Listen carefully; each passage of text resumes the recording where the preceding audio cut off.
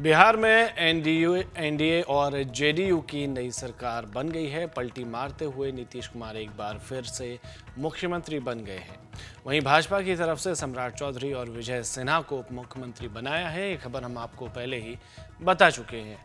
इन गहमा गहमी के बीच अब सवाल उठ रहे हैं कि क्या नीतीश कुमार को एनडीए में जाने पर नुकसान हो सकता है? तो चलिए पॉइंट बाय पॉइंट आपको बताते हैं कि एनडीए के साथ जाने पर नीतीश कुमार को कौन कौन से पाँच नुकसान हो सकते हैं। पहला एनडीए में जाने के बाद नीतीश कुमार को लोकसभा सीट के साथ समझौता करना पड़ सकता है।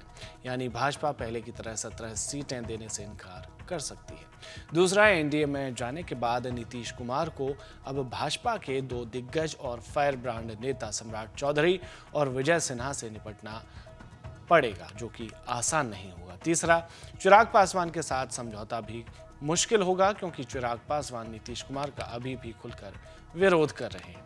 चौथा, लोकसभा चुनाव में मुस्लिम वोट बैंक का नुकसान झेलना पड़ सकता है, क्योंकि लालू यादव सांप्रदायिकता का, क्योंकि लालू प्रसाद यादव सांप्रदायिकता का आरोप लगाकर मुस्लिम वोटरों को अपनी तरफ़ खींचने की पूरी कोशिश करेंगे।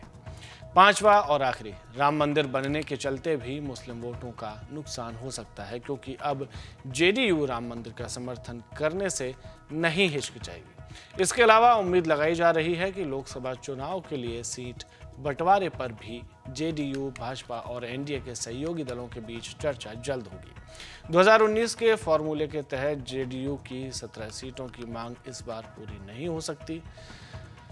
ऐसा इसलिए क्योंकि कुछ नए सहयोगी बने हैं, जैसे जीतन राम मांझी की हिंदुस्तानी आवाम मोर्चा, यानी कि हम और रामविलास पासवान की पार्टी टूटकर चिराग और पारस गुट में बट गई है। तो चिराग को भी साधना बीजेपी की प्राथमिकता होगी। वहीं अब नीतीश कुमार ने तेजस्वी यादव की तरफ़ से लगाए गए उन तमाम आरोप पर क्या, आरोपों पर क्या कहा और बिहार को लेकर क्या कहा, वो सुन लेते हैं। कहाँ क्या हो रहा है?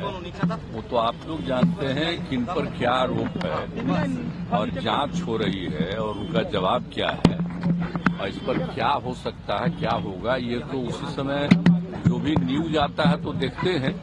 इसके अलावे तो हमको और कोई जानकारी है नहीं।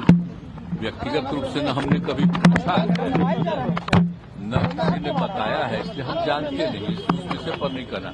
अब देखिए, हम लोग पूरे बिहार के विकास के लिए रात दिन काम में लगे रहे हैं, आज भी लगे हुए हैं, और आप लोगों से यही आग्रह है हमारा कि जो भी बिहार में जितना काम हो रहा है, उसी को गौर से देखिए और उसी को प्रचारित करिए। कि देखिए, आपदा प्रबंधन के लिए भी एक एक काम हम करते रहते हैं।